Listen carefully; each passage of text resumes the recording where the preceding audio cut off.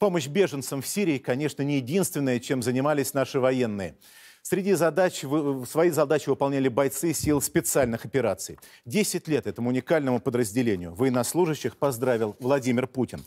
Верховный главнокомандующий уделяет большое внимание силам специальных операций. Следил за их формированием в 2009 году после событий в Южной Осетии, награждал наиболее отличившихся. Вы сейчас увидите, как готовить тех, кто с точки зрения военной специальности каждый один во многих лицах.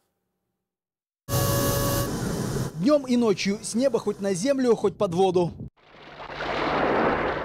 Десантирование с высоты до 7 тысяч метров. Способность в небе преодолеть расстояние в 50 километров, скрытно проникнув вглубь территории противника. Современное снаряжение, прибор ночного видения, кислородное оборудование, на себе продукты питания, аптечка, конечно же, боеприпасы и вооружение. Вот так, вплоть до противотанковых управляемых ракет и переносных зенитно-ракетных комплексов. Солист специальных операций, будучи абсолютно э, изолирован от своих войск, э, он должен иметь э, базовые навыки абсолютно по всем специальностям. Это касается и э, владения оружием, и водолазным снаряжением, и владения техникой автомобильной, бронетанковой, ведение радио, радиотехнической разведки – Э, наведение авиации. Наведение авиации – одна из задач, которую выполняли бойцы сил специальных операций в Сирии. Об этом узнали в стране и в мире в марте 2016-го после подвига старшего лейтенанта Александра Прохоренко. Офицер ССО неделю в тылу террористов в Пальмире наводил на цели наши самолеты. Оказавшись в окружении боевиков, вызвал огонь на себя.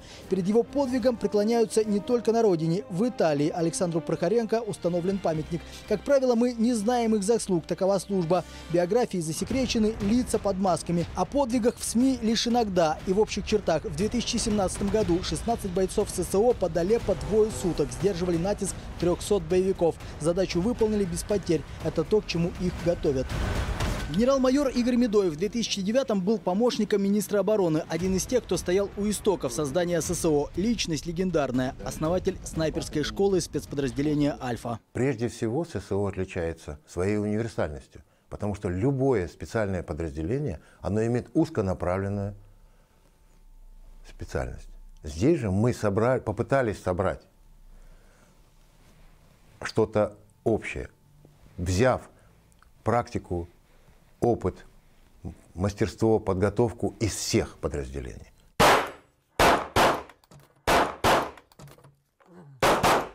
Президент Федерации практической стрельбы России Михаил Гущин, ветеран Альфы. За его плечами не одна спецоперация. Говорит, бойцы ССО – это те, кто прошел жесточайший отбор. Они могли бы сделать настоящую спортивную карьеру, но выбрали для себя другую профессию – родину защищать, встречаясь с врагом лицом к лицу. Огневая подготовка, а точнее такой элемент, как ближний бой, в ССО пришел из Альфы и Вымпела. Данная установка называется up and down.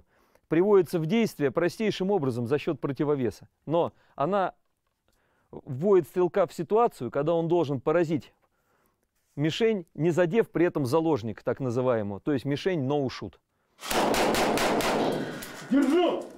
Война в Афганистане, затем контртеррористическая операция на Северном Кавказе постепенно сместили акценты в подготовке и применении армейских спецподразделений, говорит Олег Мартьянов. На первый план вышли борьба с незаконными вооруженными формированиями, поиск их баз, штабов, схронов. Бойцов ССО готовят прежде всего выполнять совсем другие задачи. Создавался для помощи э, нашим э, силам и средствам в прорыве противовоздушной обороны.